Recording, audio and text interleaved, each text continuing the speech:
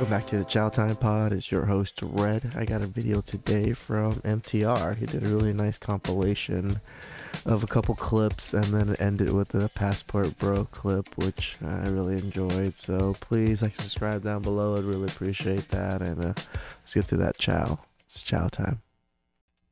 gonna stink sometimes. It is what it is. What? What? I am so glad you said that because I was sitting here and I was like, the f- My God. It is a sickness. Sickness. Would one of y'all shave your head to win whatever's in this mystery box? Uh, what's in there, bro? I can't tell you, but it might be something good. Might be a McChicken. It might be, I don't know. it Might be a You know what? McChicken. Yeah. Let, let's go. Let's do it. You're down? Yeah, I'm down. Let's Fuck go. yeah. Let's, Let's do get it. Hell yeah. Alright, I think you're looking good. Looks good. Let's get it. You ready to open it? Yeah, let's do it. Do it. Alright, open it up. Let's see. Ooh.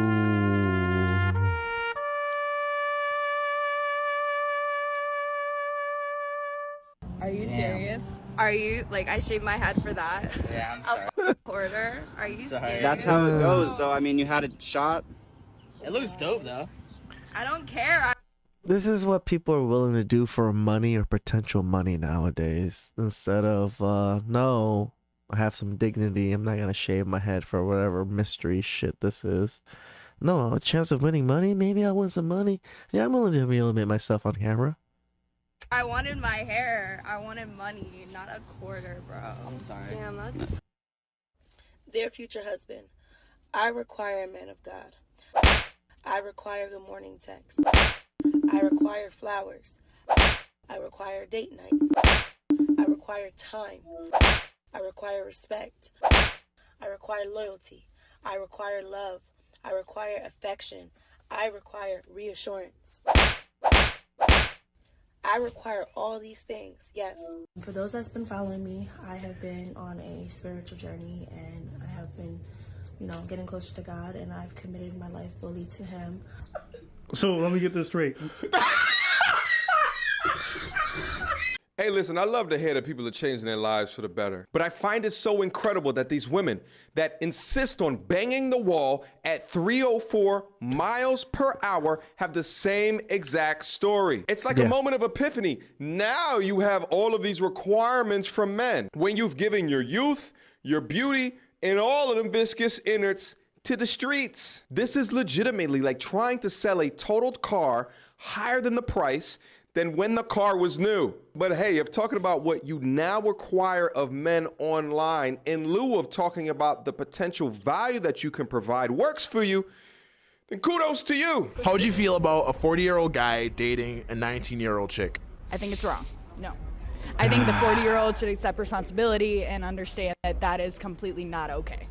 And it's Uh-huh. not, she's a full grown adult, but I don't think it's okay. No, I don't. But it's okay for a woman to sell herself on OnlyFans at 18 and get railed on camera for money, but not enter a conse- consensual relationship. So this is where I just kind of lean on my faith. Sorry, hot take, but What? my faith, no, I don't think it's ever worth putting yourself out there to the internet. I do not believe in that, but that's a personal thing. You do you, make your money. But no, I think I think they're both wrong. I would like to chime in and just let y'all know I made more money from my sugar daddy than I did from my full time job Oh, that I have a oh, college degree for. Oh, respectfully. No, same. No, me as well. Yeah, yeah, Absolutely. Same. So, so I did the same thing, but I will say that my experience as a 24 year old having a sugar daddy and a 19 year old having a sugar daddy were very, very different. What? And I think that I made better decisions as a 24 year old than I did as a 19 year old. Gotcha, bitch. Mm-hmm. So the 40 year old should accept responsibility and know that it's not okay. But yet it is okay that not only women in general, but you specifically have a sugar daddy. I swear for God, mm-hmm. you cannot make this shit up. The hypocrisy of the modern woman today is steeped in when it benefits them. Because when it benefits them, it's go girl, living your truth. But when it Yeah, doesn't, then they think that it's wrong. Then men should face some consequences. I think the 40 year old should accept responsibility and understand that that is completely not okay. And I've noticed the same exact type of rationalization when it comes to women wanting high value men to be monogamous. But meanwhile, when you are of your highest value, you did this with your body. It is often said life isn't fair. Who is more likely to be expected to accept injustice, men or women? Um, women. Mm, If it's okay. not men, why do we have the expression take it like a man? You're good. um, because men are supposed to have this strong front, you know? So, Does a man have the right to define what a woman is? Absolutely not. So then what gives women the right to define what a man is? We don't. But didn't you just say a man's supposed to be this and a man's said supposed to be that? supposed to. Yeah. Oh that man, not he's so defining what a good. man He's is? so good. Well, somewhat, but not just clear like that. But guess what though? You know what else? What? What's up? We just got caught. Caught what? Caught what? Oh shit, let's go. Okay, let's go. Let's go. Let's go. Let's go. Dude, we have like a whole team and everything. It's like a SWAT team and shit. Like, you really just feel like Wait, what are you saying? What are you saying? What the f- is this, Tina? What the fuck are you doing? him? What the fuck going on? Oh my god, oh my god. You don't even know him like that, and you're kissing him. I'm your boyfriend. They're not friends. They're with me. Don't worry about it. Don't worry. You about cheater. You over here kissing other people? oh my Get out God, the I car, can't bro. fucking do this. What the f- are you doing? I can't. You just kissed I them. can't. bro. Get all your shit in my car. Your damn shorts. All your shit. Why Don't would come Why back. would you do this? Don't Why- come back. Babe, that was for a whole script. A whole that. script. That's for a whole No, script. it was not. Okay, I can't, I can't do I'm this. done with you, Yes, man. it's Get for out. That was for a whole Leave. script. Leave, bro. Uh, All that f- time wasted. Yeah, okay. All right. Whatever. Oh my god. Should we? Should we maybe call her an Uber or something? this fucking simp. Uh, do you think she knows where she's at? She walked at? away herself, You can walk man. home for all I care, man. What the They fuck? feel like the women in the United States are kind of like tarnished goods. And I want you to watch this video, okay? This is exactly what I'm talking about. No one said that women are tarnished goods. Nope. If you actually look at a passport bro, which I know many of them, they are not going over there to grape and conquer. Nope. They are going over there because they are giving up over here. The mm-hmm. reality is is that there are too many women that are saying that they don't need men. Men want Exactly. to be needed. They want to feel valued like they are protectors, like they are alphas, like like we need them. The problem is that too many women are saying, I don't need a man. I too say, I don't need a man. I find it so interesting that even though she understands a component of the problem, she's still down with the bullshit. You Yeah. understand me? it's just the programming is that strong. It is. The dogma is that strong. She still says it, even though she understands it.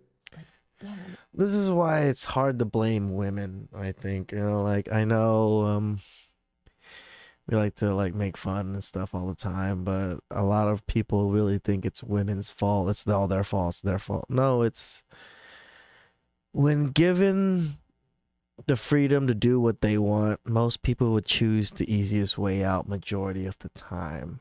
Just women happen to choose those things and it's like kind of looked upon in society to do yeah go do those easy ways out. So it's it's not that they choose these things. And society kind of pushes it for them too. So there's i think we can do our best to just try to maybe you know you know the pendulum's swinging back you know like so as long as we keep pushing the other way more and more women i think are going to change so. I want a man. They do things better and faster. Like I laid down flooring for my Airbnb. I have like tiny hands. All of these were broken. Uh, there were there were like warped areas. Thank God my dad came and he helped me. But nonetheless, if I don't say I need a man, if I don't say I want a man, they don't feel valued. Just like when women were screaming and saying, This man's not saying that he appreciates me, and I'm doing all the cooking and the cleaning, and I'm working full time, and I'm taking care of the kids. Every healthy relationship should be predicated off of reciprocity. So if you've been telling the men of today that they aren't needed or that they serve no purpose, then guess what? They will leave that society and go to another where they are appreciated. This is supply and demand. This is economics 101. And the man saying, Where's my dinner? Then the woman left, right? So, what makes women think that the same tactic is going to work on the men? the reality is, women make up half of the workforce for sure, but we also spend a lot, so it's not like we're taking all of these trips like like they are. Yeah, it's not equal. None of the men ever say that they're damaged goods. What they consistently say is, "We're tired." I knew one guy that was uh we are dating and he told me he opened the door for a woman and she said I can get that myself. Are you freaking kidding me? I'm waiting for a guy to open my door. Like for me, like a gentleman. Like that's what you're supposed to do as a date. But women, we're supposed to appreciate it. Also, if you go on a date with a guy and he pays for it, say thank you. It's like beside myself not understanding how when I go on a date It's basic manners. Pleases and thank yous. I learned this when I was a kid watching Barney and all these Sesame Street things. with a man and I say thank you, they are overly thankful that I'm thanking them for taking me out to a dinner to get to know each other. And when I ask them why, it's because none of the women that they go on dates with actually say thank you. My purpose in this is to defend the passport bros because they're not ra- raping and pillaging and like doing anything crazy. They just Like everybody want a thinks. traditional woman, which is why they don't want to bring them over here. I think one of the biggest reasons that have led to the way that modern women today consider men is that because men over civilized the world and made it so easy to live on this planet that they really think that they can live here without men. And it's so steeped into our culture that even the young lady that understands Like, this that's what I was saying can't earlier. help but say it as well. I mean, just think about the difference of how you would treat yourself and people around you if you needed something from them versus wanting something from them.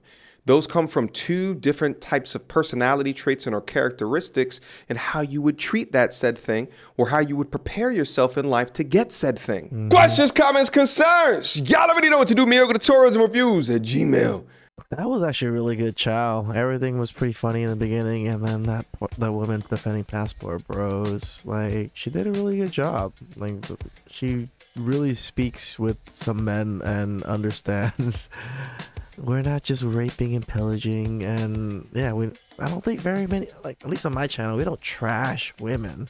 It's just they're not the ones we want. Most of them don't even want to be submissive or they don't want to do the things that you know us men want in relationships.